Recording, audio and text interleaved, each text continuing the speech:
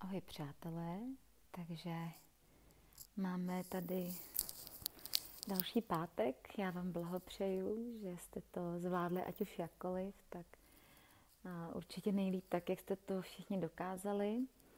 I když jste třeba začali buď jíst, nebo si přidávat nějaký smusíčka už dřív, nebo nějaký polívky jídla a tak dále, tak uh, pro mě bylo opravdu podstatné, abyste udržovali i ten uh, rytmus toho duchovního uh, růstu té práce, kterou uh, jsem věnovala právě každému tomu dni.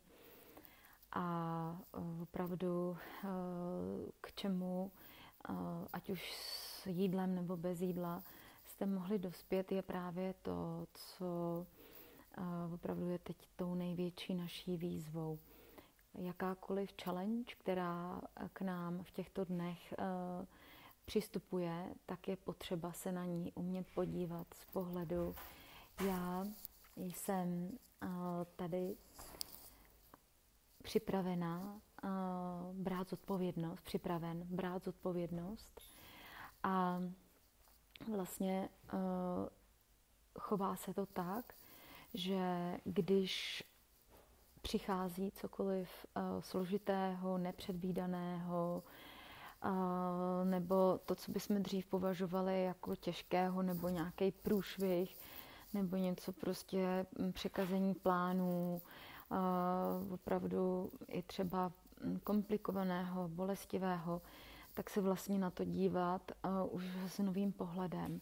Co já za prvé se z toho mám vzít pozitivního, kam mě to vede, co je tady v tom a pro mě jako ponaučení,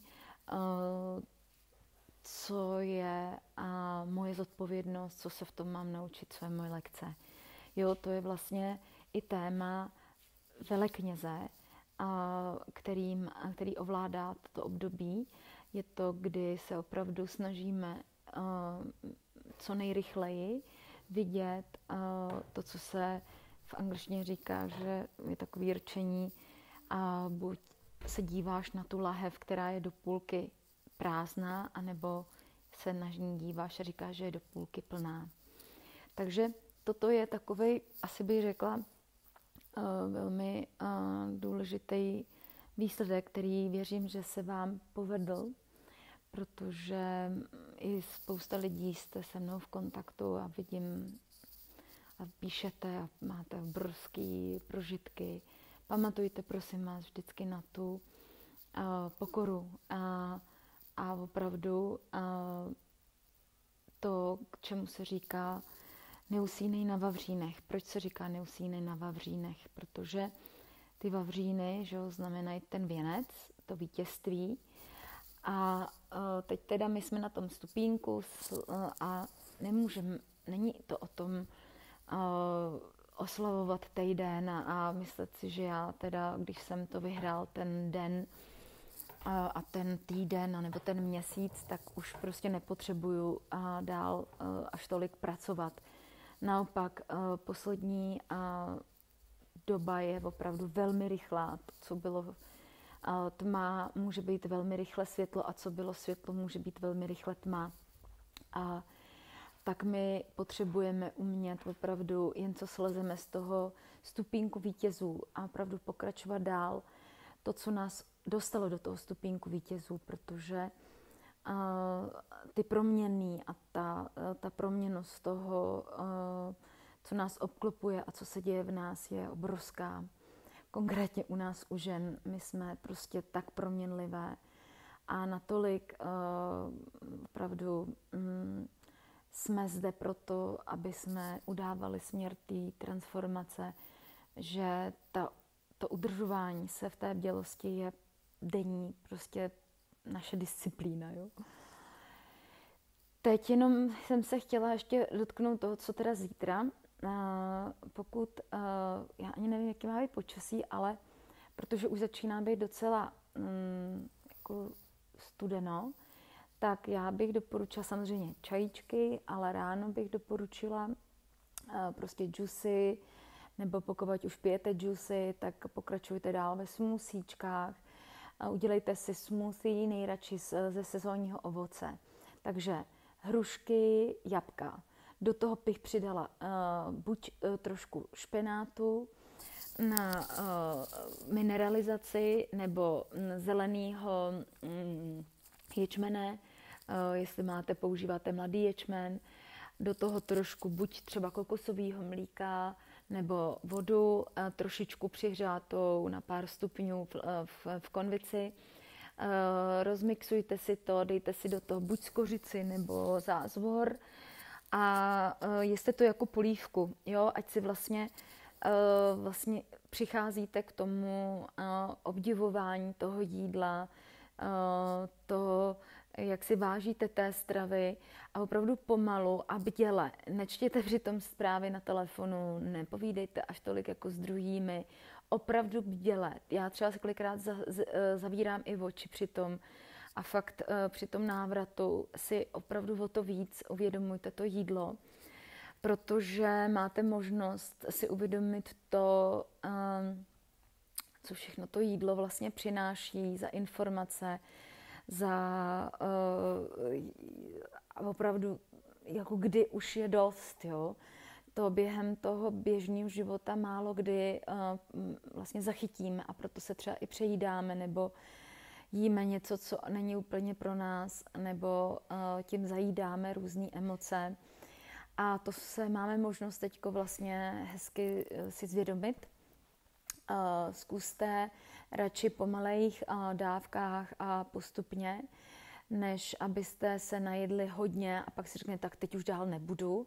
Ono vás to třeba bude nutit, protože po prvních mých půstech já jsem měla opravdu největší problém přestat jíst. A to je přesně ten moment, kdy jsem si uvědomovala, wow. A to je, jo, kdy, co vlastně ten půst nás měl naučit? Náš vztah ke hmotě.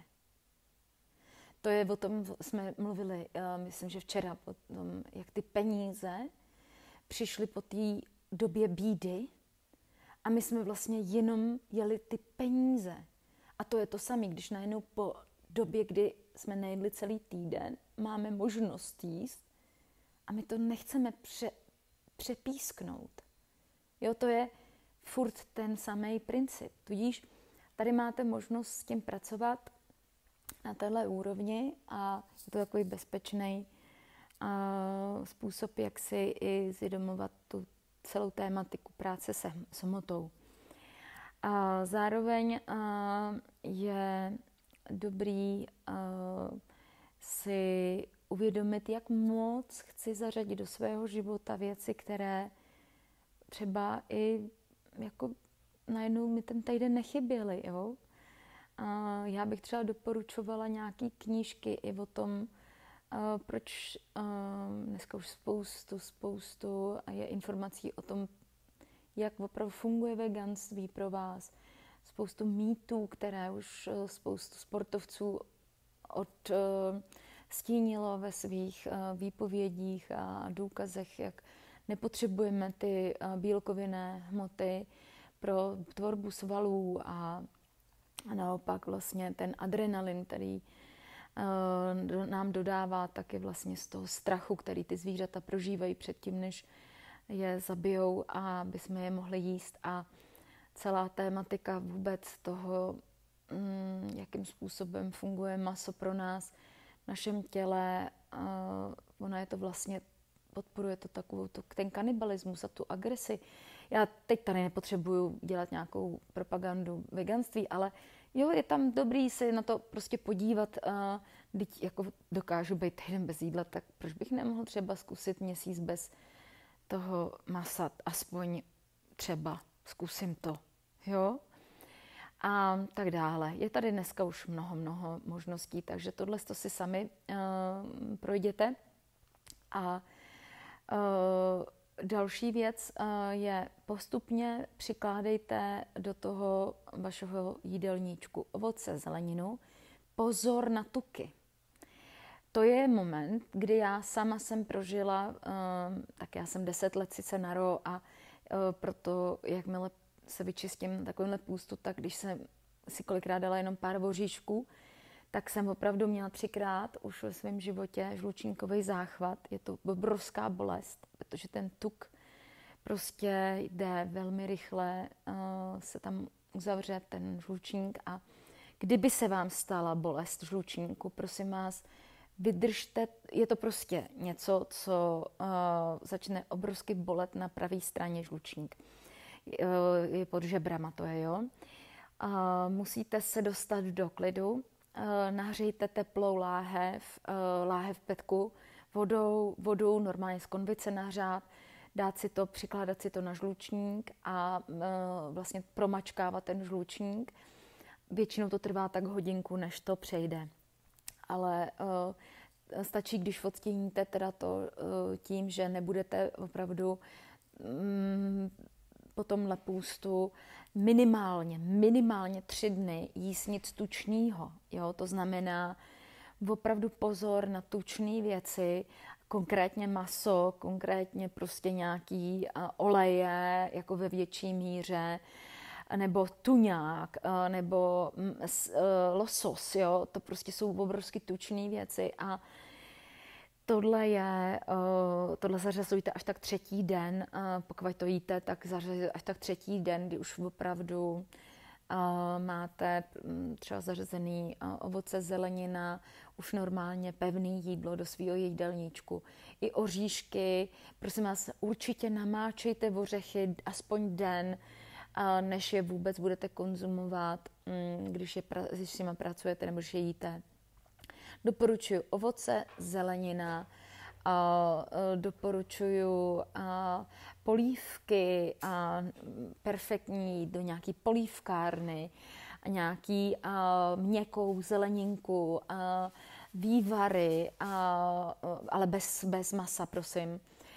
Zeleninový pokrmy, další, druhý, třetí den třeba už i nějakou e, malinko rýži, ale všechno kousejte, e, dobře prokousejte. A propíjejte čajem, vodou a, a, a dávejte si třeba kurkuma laté, to znamená nějakým způsobem si udějete doma mlíko rostlinný s troškou kurkumy, troškou třeba datlí a promixujte, takže si tam vlastně ještě pročišťujete celý ty, ty střeva. A pokud nepůjdete eh, dobře na toaletu, což by mělo jít potom, eh, potom, potom ovoci poměrně dobře, eh, tak určitě si to třeba podpořte, dejte si psílium do smusí, nebo kdyby to nešlo po dnu dvou, tak si radši ještě dejte jednou nějakou prostě sen, čaj ze seny nebo ale ne, nedělejte si klistýry, jo, protože naopak my potřebujeme uh, to střevo osidlovat, než ho takhle vyplachovat. A určitě si, prosím vás, dojděte do lékárny, kupte si, a jmenuje se to dvojkmenové a, uh, probiotika. Jsou to, a řekněte jim, že uh, chci dvo, dvojkmenové probiotika, který máte v lednici. A samozřejmě, když si to přinesete domů, tak to zase dejte do lednice. To jsou ty živé, to jsou ty živé probiotika, které opravdu jsou živé, nejsou vyschlé, ty, které se různě prodávají všude možně, ale my chceme ty živé. A berte měsíc po půstu, ráno, večer, tyhle ty probiotika na právě osídlení toho střeva a um, proto, aby se vám uh, krásně teda zase rozfungovalo uh, to trávení. Kdyby cokoliv, tak mi pište nebo volejte a těším se na jarní půl s vámi. Papa.